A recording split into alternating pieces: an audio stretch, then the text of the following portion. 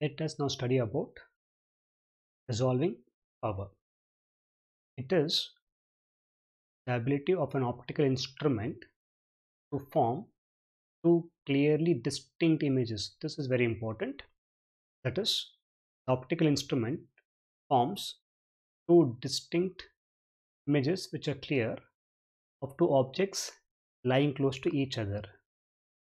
This ability of the instrument called as resolving power.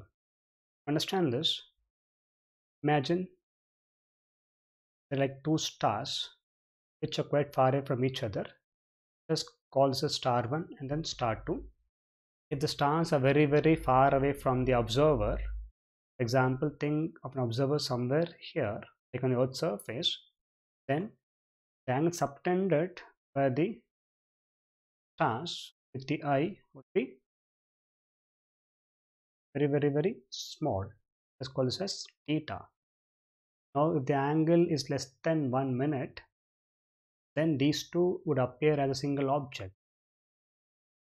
As seen here we can look at an example where if the cars are close by then the angle subtended would be greater. In this case if a person is looking at a car very far away then the angle made would be less we can use the same analysis, the same logic to think of two far away stars.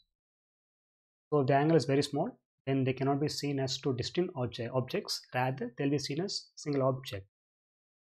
In this case, these two may appear to be like a single object.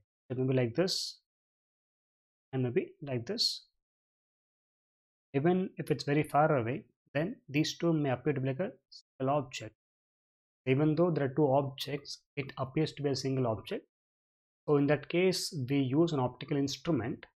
That instrument would separate them as two different objects. This ability is called as resolving power